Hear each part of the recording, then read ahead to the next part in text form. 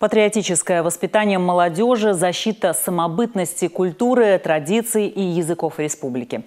Об этом говорили на встрече председателя правительства Абдулмуслима Абдулмуслимова с коллективом Министерства по национальной политике.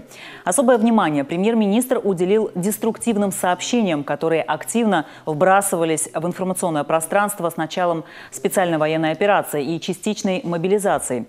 Абдулмуслимов отметил, что дагестанцы проявляют сознательность и не реагируют на провокации провокации. В том числе это заслуга и Министерства по национальной политике. Значение их работы в новых геополитических реалиях возросло, и по мере возможности надо наладить взаимодействие с коллегами из ЛНР, ДНР, Запорожской и Херсонской областей.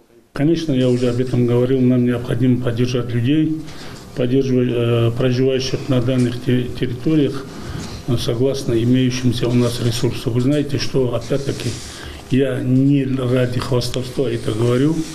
По оказанию гуманитарной помощи э, Республика Дагестан тоже находится среди лидеров Российской Федерации.